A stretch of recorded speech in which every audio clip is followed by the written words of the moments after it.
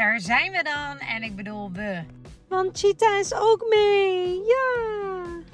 Een uur en 10 minuten in de auto. Chapeau, Cheetah. Gauw met Cheetah en de belangrijkste spullen naar binnen. En dan eh, gaan we kijken hoe ze went. Voor een week herfstvakantie. Oh mijn lord. Sven zei al, ik heb iets aangepast aan de woning. Maar dit had ik echt niet verwacht. Kijk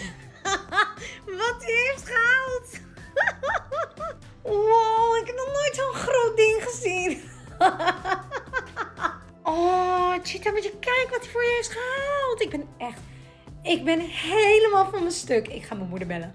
Ik had dit zo niet verwacht. Kijk, en die is aan het verkennen. Dit is wat katten standaard doen in een nieuwe woning. Cheetah,